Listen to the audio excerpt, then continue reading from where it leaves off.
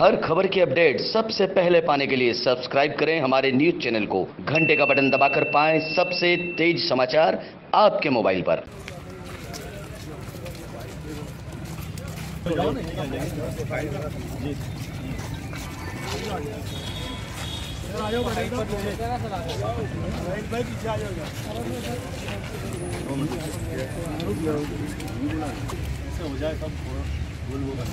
विषय लोकतांत्रिक अल्पसंख्यक मुस्लिम वर्ग के सदस्यों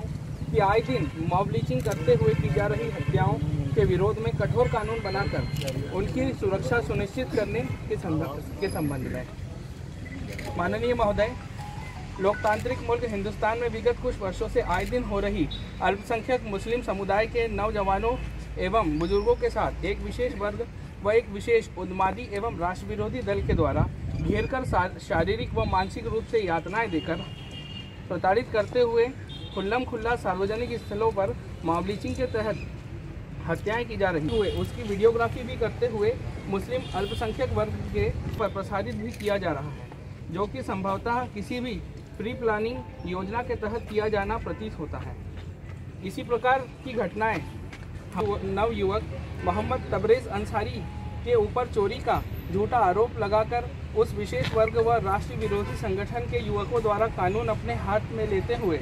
इस मुस्लिम युवक को सार्वजनिक सार्वजनिक स्थल पर बुरी तरह से यातनाएँ देते हुए लगभग 18 घंटों तक उसके साथ बेरहमी से मारपीट की गई, जिससे उसकी मृत्यु होना कारित हुई। और उसी मारपीट का वीडियो बनाकर सोशल मीडिया पर भी ऐसे असामाजिक तत्वों द्वारा प्रसारित कर दिया गया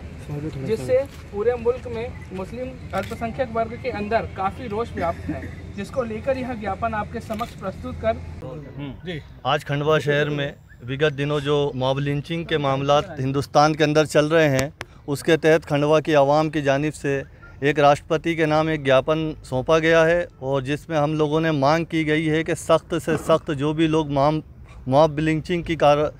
घटना को अंजाम देते हैं, उनके खिलाफ सख्त से सख्त कार्रवाई की जाए। आज जो है खंडवा मुस्लिम समाज जो है हमारा नायब शहर काजी सैयद निसार अली साहब के नेतृत्व में यहाँ पर मुस्लिम समाज के समस्त लोग यहाँ इकट्ठा हुए हैं और जिला, माननीय जिला कलेक्टर महोदय के माध्यम से महामहिम राष्ट्रपति महोदय के नाम एक ज्ञापन सौंपा गया, जिसमें ये मांग की गई है कि हिंदुस्तान के अलग अलग शहरों, प्रदेशों में जो मॉब लीचिंग की घटनाएँ हो रही हैं लगातार जिस पे 2014 के बाद से लगातार ये घटनाएँ बढ़ रही हैं, और इसमें आज तक कोई ठोस कार्रवाई नहीं की गई न केंद्र सरकार द्वारा, न राज्य सरकार द्वारा। तो उसके लिए एक ठोस कानून बने, केंद्र उसमें, केंद्र सरकार एक बिल लेके आए, जिसमें इस प्रकार की घटनाओं के लिए जो दोषी व्यक्ति हैं उन पर कड़े आर्थिक दंड लगाए जाएँ और जो पीड़ित पक्ष है, उस, उसको कम से कम दस लाख रुपए तक का मुआवजा दिया जाए, उसके परिवार को नौकरी दी जाए। इस प्रकार का ज्ञापन की मांग, देकर मांग की गई है।